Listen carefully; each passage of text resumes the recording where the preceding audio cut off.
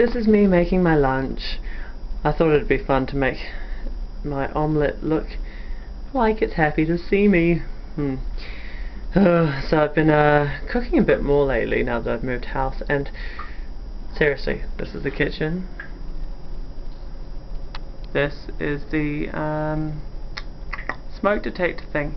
They're very close together. Ridiculously close together. so I've set it off a couple of times and it's really loud. I think I'm gonna go get deaf like from its piercingness of the eardrums. Really, then I'd have a lawsuit on my hands. Maybe I could get some money out of it, but then I wouldn't have my hearing. It wouldn't be worth it. Not happy about a smoke detector being this close to the kitchen, and neither time that I set it off was anything actually burning. You know, so, mm. silly. Aww. Happy omelette. Hmm. You're nearly ready, aren't you?